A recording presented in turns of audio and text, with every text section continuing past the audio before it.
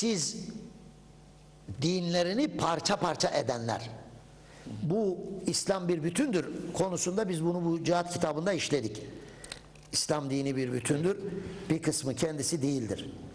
Onu buradan bulalım. Evet. Ve onu onu onu o, çok önemli o ayet-i kerime. Şimdi Bugün yanlış yaşanan sıkıntı da bu siz onu bulurken yani e, laiklik dediğimiz şey de burada Evet. e, bir engel söz konusu yani. İslam bir kısmını oradan alıyor yerine başka bir şey koymaya çalışıyor. Evet, aynen öyle. Evet. İşte efetu'minune bi ba'dil kitabi ve tekfurune bi ba'd ayet kerimesi var. Ee, bir de neyse şimdi o ayet kerimeyi bulamadım. Ee, hafız olmayınca işte böyle oluyor. İnsan e, hafızasında mana var. Ayetin de ayet de var ama e, sürekli tekrar etmeyince insanoğlu unutuyor. Allah muhafaza. Allah muhafaza. Şimdi burada en önemli şey o hadis-i şerifin kendisine dönelim. Yere bir çizgi çiziyor. Sağa sola çizgiler çiziyor. Diyor ki ben ve ashabımın üzerinde bulunduğumuz yol bu orta yol. Peki bu yan yollar? Onlar subul. Her birinin başında ins ve cin şeytanı olur diyor. Ve kendilerine çağırırlar. Ben yoksam siz de yok olursunuz. Bana tabi olun ben sizi kurtaracağım. Şimdi biz kongre yaptık. Saadet Partisi olarak. Beni birçok kardeşimiz aradı.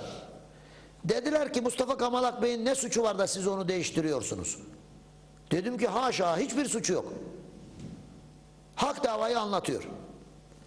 Ama size şöyle bir şey esastan bahsedeceğim dedim. O kardeşlerime telefonda bak şimdi açıklıyorum bunu. Çünkü mesele bitti. Dedim ki bir hakikati Muhittin Yıldırım Hoca anlatıyor da karşıdaki insanlar Muhittin Efendi'nin e, şahsından dolayı onun söylediği hakikati e, reddediyorlarsa Muhittin Yıldırım değil de onu Mehmet Efendi'nin anlatması o topluluk üzerine farz ayindir. Neden? Biz milli görüşçüler tebliğ merkezli bir hareketiz. Tebliğ öncelikli bir hareketiz. Biz muhtevayı önceleriz, şahısları değil. Şahıs ikinci plandadır. Bir araçtır burada. Ne söylüyor? Kim söylüyor değil. Ne söylüyor? Hikmet müminin yitik malıdır. Onu bulduğu yerde alır. Dolayısıyla kim söylüyor da önemlidir ama ikinci derecede önemlidir. Birinci derecede ne söylüyor? Hak müminin yitik malıdır. İlim Çin'de de olsa ara bul. Onu Mustafa Kamalak mı söylüyor? Ondan al. Muhittin Hoca mı söylüyor? Ondan al. Temel Karamollaoğlu mu söylüyor? Ondan al. Sen onu eğer toplum işte siz kendinizi değiştirmedikçe Allah sizi değiştirmez kuralı var ya ayet-i kerimede hatta yugayyiru ma bi biz kendimizi değiştirmek durumundayız madem ki söylediklerimiz Mustafa Bey'in ağzından millet dinlemek istemiyorsa o zaman Temel Bey söylesin İşin temeline vardık. mühim olan mühim olan bunu insanımıza ulaştırmak hakikati ulaştırmak Evet. Kimse ben davadan üstünüm diye bir derde girdi mi bitti. Ben varım efendim e, e, e, varsam siz varsınız dedi mi bitti. Diğer partilerde ise bu temel ilke asla uygulanmıyor. Aramızdaki temel fark budur işte. Burasını kavramamız lazım. Şimdi Erbakan hocamız bu tefrika meselesini nasıl izah ediyordu? Ben onun dilinden söylediği gibi anlatmak istiyorum. Şöyle diyordu. Şimdi o meşhur ayet-i kerime tefrikayı önleyen ayet-i kerime ve onun tehlike olduğunu bize beyan eden ayet-i kerime. Hangisidir o? Ali İmran suresi 103. ayet. Ve atesimu bihablillahi cemi'an ve la teferraku. Allah'ın ipine, İslam'a sımsıkı sarılın, sakın parçalanmayın, tefrika yapmayın. Tefrika demek parçalanmak demek. E Allah'ın ipine sımsıkı sarılın, tefrika yapmayını nasıl anlayacağız? Şimdi Erbakan hocamızın tefsirini birçok konu diyor hocamız bu çağın problemlerine ilaç olarak yeniden Kur'an ve sünnete dönerek alimler tarafından tefsir edilip idrake getirilmelidir. İnsan idrakine yaklaştırılmalıdır. Anlamasına. Bu çok mühim bir tespitti hocamız. her ne surette olursa olsun tefrika haramdır diyordu hocamız. Her ne surette olursa olsun. Velev ki daha iyisini yapacağım zannıyla dahi olsa ayrılmak haramdır. Tefrika yapmak, ayırmak, birbirine ayırmak haramdır. Kim daha iyisini yapacağım diye kendinde ayrılma hakkını görürse bilsin ki başkasının da kendisinden ayrılma hakkını ona vermiş demektir. O kapıyı tıkamayan kendi içinde o kapıdan kendisi vurulacak. Hani biraz önce hadis-i şerifte nereden düş, e, bu tefrika aramıza giriyorsa oradan kurtulmak. Çok önemli.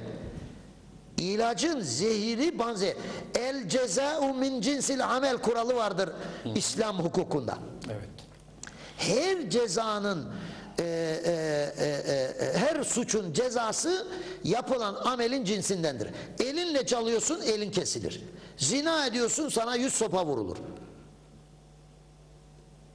Çok önemli. El ceza'u min cinsil amel. İslam'ın bütün kurallarının hikmetleri birbirinin benzeridir. Çok önemli bir kuraldır bu. Demek ki kim daha iyisini yapacağım diye kendinde hak bir yoldan ayrılmayı, o peygamberimizin hak çizdiği yol var ya, oradan ayrılmayı kendinde hak olarak görürse daha iyisini yapacağım zannıyla. Evet, kendisinden de ayrılma hakkını diğerlerine verecek sonunda helak olacak. Aslında o liberalizmdir. İfrat ve tefrittir. İfrat dinde olmayanı eklemek, tefrit de dine ola, dinde olanı çıkarmaktır. Ne için çıkarılır? Dört, üç gerekçeyle.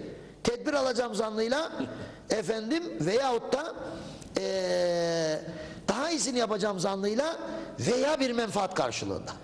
Bir de üçünün bir partide olduğunu düşünelim. Hem tedbirli gideceğim, hem menfaatleneceğim, hem de daha iyisini yapacağım. Bu daha Bu aldığın tedbir farzı vacibi ortadan kaldırıyorsa buna tefrit denir. Farzı vacibi sünneti ortadan kaldırmıyor. Erte e, e, e, kaldırmıyor da onu tatbik etmenin mücadelesini veriyorsan o zaman tedbir olur. Tedbir farza göre yürümektir. Vacibe göre yürümektir. Sünnete göre yürümektir. evet. Onu kaldırmak değil.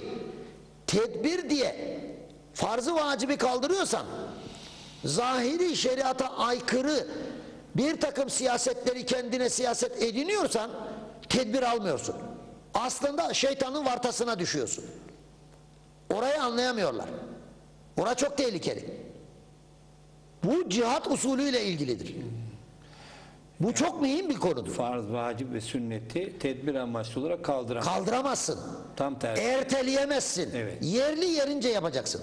Her tedbir farzı, vacibi, sünneti konuş, ko- korumak için İkame yapılan etmek. manevradır. Yapılan manevradır. Yoksa farzı ertelemek, Veya vacibi ertelemek veya kaldırmak tedbir, Tedbir değil, değil. tefrittir. Sonunda su giriyor içeri. Şeytana kapı aralanıyor.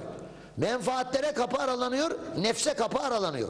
Oradan iç bütünlüğü bozulunca tefrika başlıyor, kargaşa başlıyor. Oradan bir bandırma, bir, bir, bir girdi mi içeriye Allah muhafaza şeytan işte orada büyük bir eee, şey başlıyor, patlama oluyor.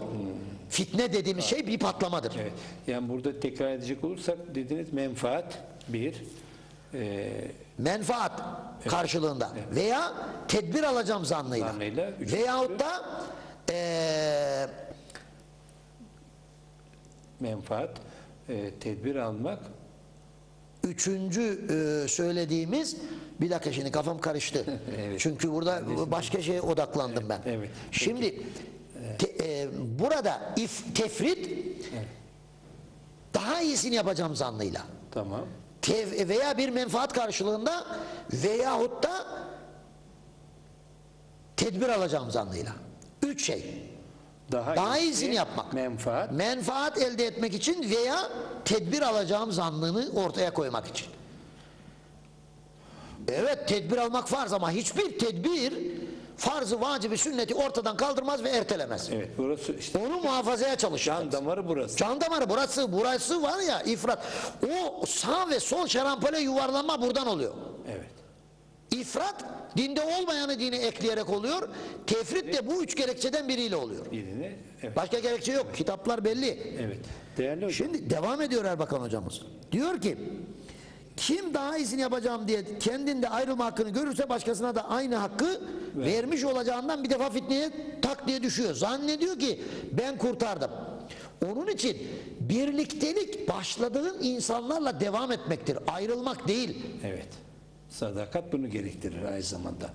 Takva üzerine başlanmışsa takva üzerine devam edilir. Allah onlara kalp bütünlüğü verir. Takva üzerine değil de menfaat, tedbir, zanlıyla bak zan diyorum. Zan çünkü gerçekten tedbir almak farzı varıcı bir korumak içindir. Muhakkak tedbir alacak Müslümanlar. Tedbirsiz olmaz. Neye tedbir diyoruz ama? Orası mühim. Evet birisi geldi kafamıza tabancayı dayadı. Bir dakika şimdi.